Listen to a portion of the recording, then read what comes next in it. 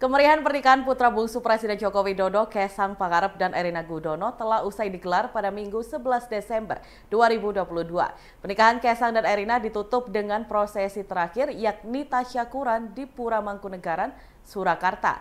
Ada lebih dari 3.000 tamu undangan yang hadir dalam acara tersebut. Semua tamu yang datang diberi kesempatan untuk memberikan selamat, doa, hingga berfoto bersama dengan mempelai. Para tamu juga mendapatkan souvenir pernikahan sebagai buah tangan untuk dibawa ke rumah. Warganet pun banyak yang penasaran dengan isi souvenir pernikahan Kesang dan Erina.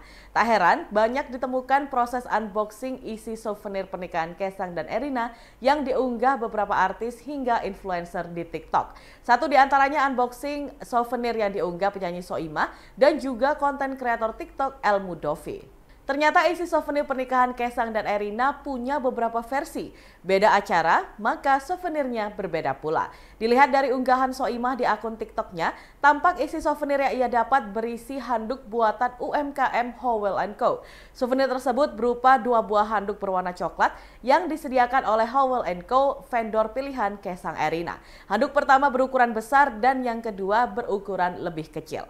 Selain itu ada juga Souvenir pernikahan Kesang yang lain yaitu sebuah pouch dengan tulisan inisial K dan E yang berarti Kesang dan Erina. Souvenir ini merupakan produk dari UMKM Elinor Light.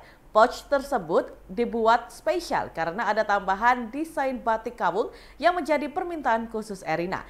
Pouch ini tersedia berbagai ukuran dan warna untuk para tamu undangan.